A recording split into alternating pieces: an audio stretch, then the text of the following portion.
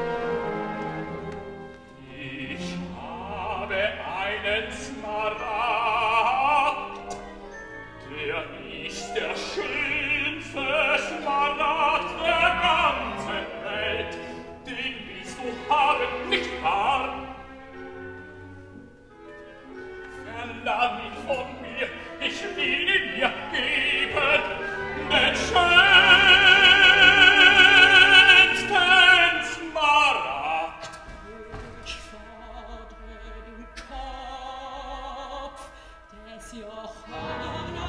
Hörst nicht zu! Du hörst nicht zu! Lass mich zu dir